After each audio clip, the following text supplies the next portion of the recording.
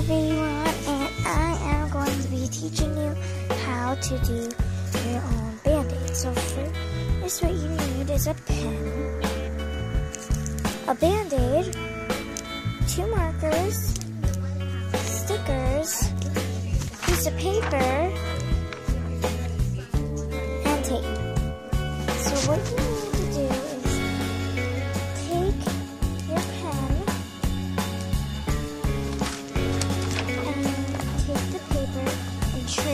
band-aid.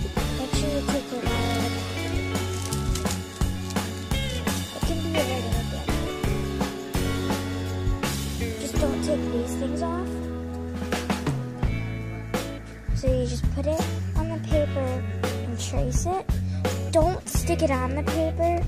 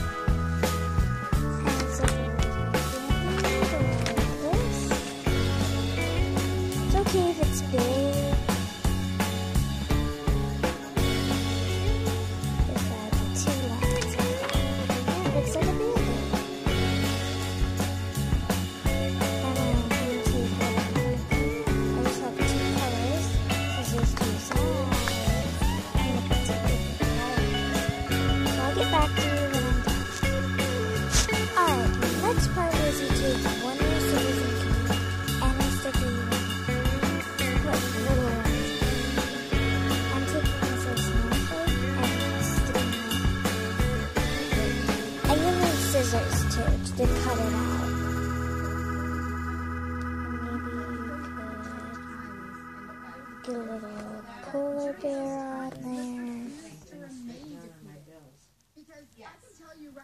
Oh, I didn't know you called. Here she is. Why are you videotaping yourself? Hi. You have so many videotapes on there of mine, Hi. of yours. Hi, Mommy. Alright, I'll just pause. Sorry about that, guys. That was just my mom talking. And then you need to cut it out, and that's all you do.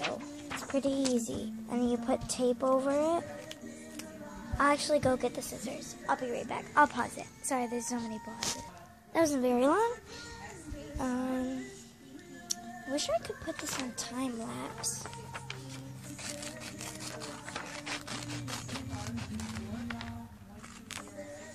It's a pretty good band-aid for your Baby Alives, and you don't have to waste band-aids.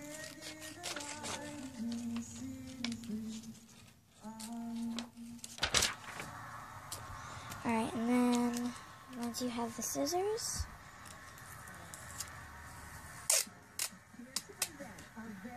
you have to get tape longer than the band-aid. It's about a couple inches long.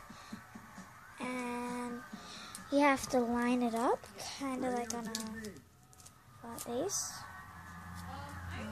Um, tape. It's great to see people being recognized for their work, feels even better to recognize an artist for putting the time and the effort into giving back to those who really, really need it. I'm proud to be here And you today put it to present the straight like that, 2016 RDMA so it's clear, like that. And you get it. not only work with Everything. I'll be right back with the and who my brother blessed. Here's Summer. Oh, sorry, you guys fell on the couch. You guys, oh, it's upside down. Sorry. so you guys fell on the couch. So that's why you said uh, darkness for a minute. And you take their arm and stick the band-aid on here. I do it up,